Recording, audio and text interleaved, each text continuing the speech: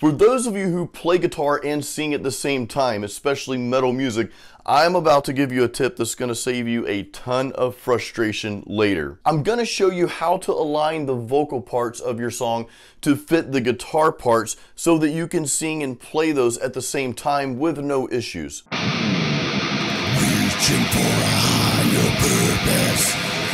Bleeding the struggles that I face, but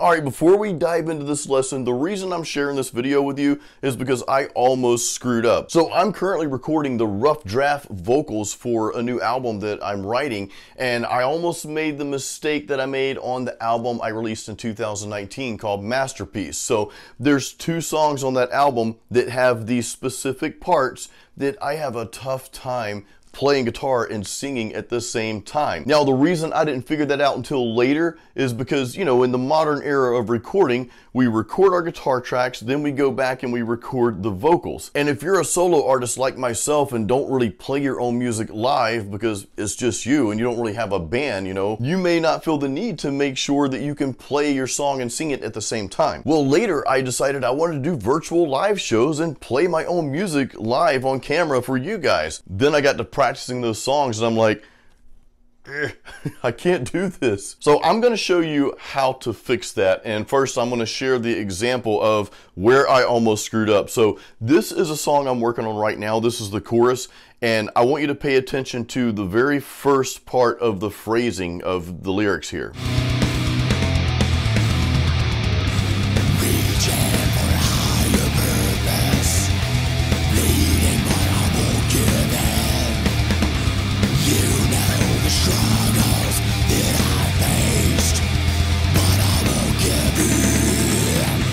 Here's the problem.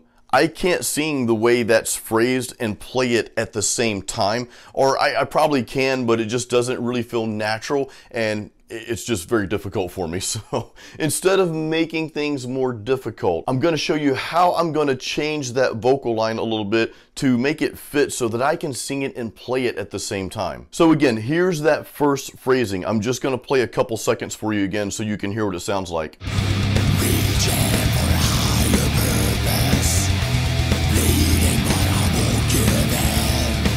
So I sat down and tried to play and sing that at the same time, and I'm like, oh crap, I'm having a hard time keeping that specific phrasing while I'm playing that rhythm on guitar. So instead of holding that part out, I want to just shorten that a little bit so that it's in sync with how the rhythm guitars are being played, and it's going to help me sing that a lot easier and play at the same time.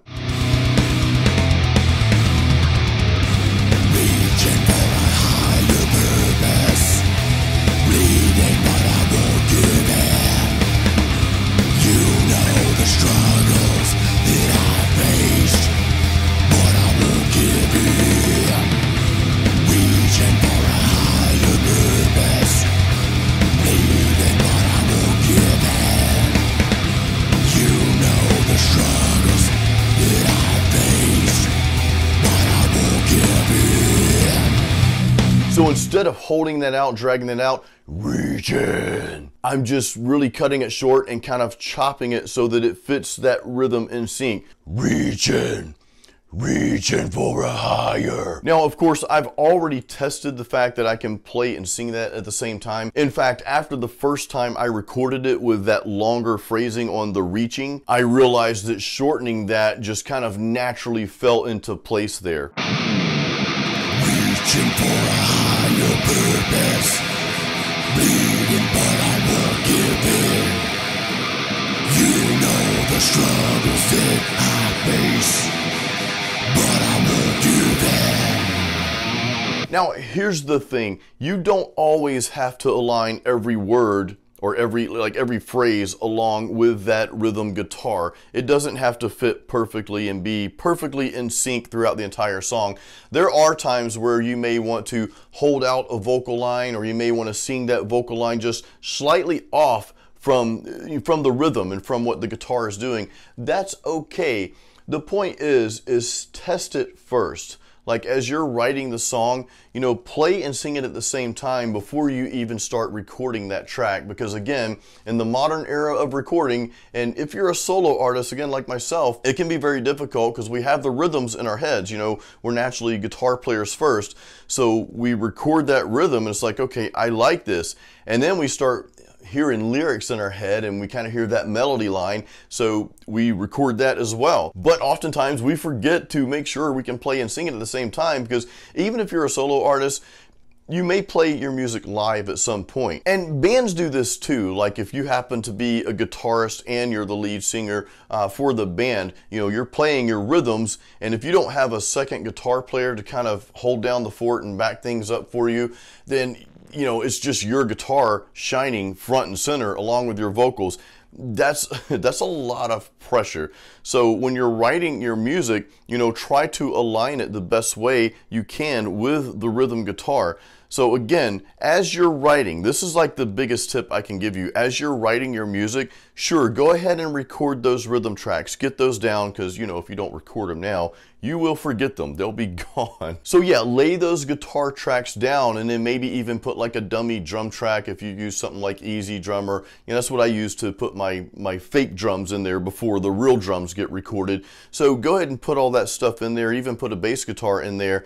But then as you're writing that song, you can write the lyrics, but as you're forming those melody lines and more so with death metal, how the phrasing, the structure of the words sit into the song, you need to play along with that. So grab your guitar and start playing along with the rhythm tracks you've already recorded. Maybe just open up a new track and, and press the button so you can hear it, right?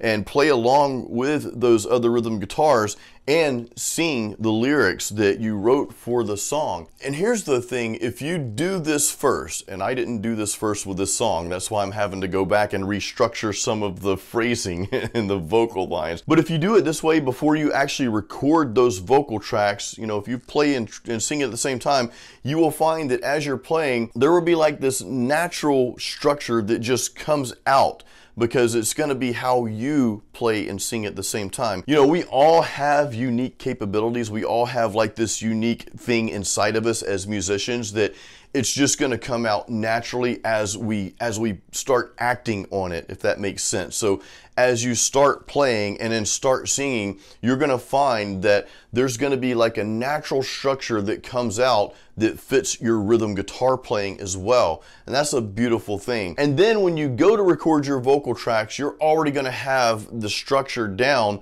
so it's going to fit with what you were playing and singing before so that way you've got it down you know you can play and sing the song, you can do that at the same time with no issues. Now, let me back up for a second. I'm not saying that you should make everything easy, and I'm not saying you should always take that easiest road possible, because there are times when you might want a vocal line to do something a little bit different. You might want the structure of that vocal to be kind of offset from the guitar or do something a little different in certain parts of the song. For those, you still need to play and sing it at the same time and just try different things, kind of go off the beaten path, but you still need to play it and sing it at the same time before you record that vocal line to make sure that one, you're going going to be able to play and sing it at the same time with no issues. But secondly, you want it to be like this just natural thing that's this already kind of within you, if that makes sense. Again, because when you start singing and playing at the same time, something different is going to come of that as opposed to you just singing along with your guitar track that you've already created without playing at the same time. And when you want to go off the beaten path a little bit, when you want to like have some of those vocal line structures a little bit different, or maybe you want a vocal line to carry over or something like that, you know, you can work on those. Just just work on those, just practice them over and over.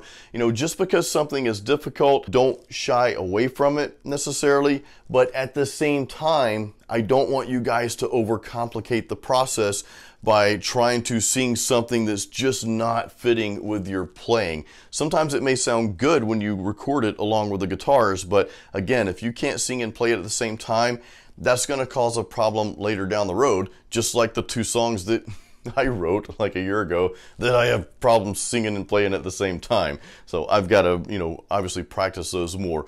But I hope this video helps you and I hope that it saves you some time and frustration. There's not really like a checklist or anything. It's just the really just a simple tip of as you're writing your songs, make sure that you are singing and playing at the same time as you're writing so that you can build that natural structure of vocal alignment along the way. And that's just going to save you a ton of time and frustration. Trust me on that one. And I'm so glad I caught it with this song. Now, the song you heard, the little clip you heard, is actually a new song that's going to be on an album that's not released yet, at least not at the time of making this video. Uh, should be out. The album, again, will be called Overcometh.